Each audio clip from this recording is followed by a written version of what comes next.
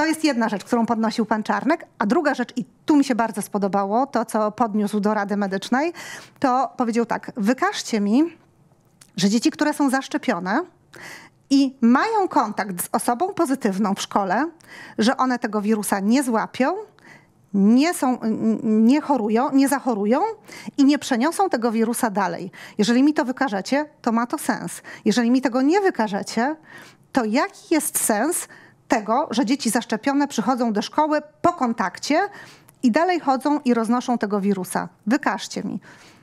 No do dzisiaj nikt tego nie zrobił, jednakowoż y, pan Czarnek musiał się ugiąć pod naciskiem Rady Medycznej i jest jak jest. W tym momencie mamy podział, tak? Mamy podział y, na dzieci zaszczepione, które mogą przyjść do szkoły po kontakcie z osobą dodatnią, a dzieci niezaszczepione uczymy się w domu.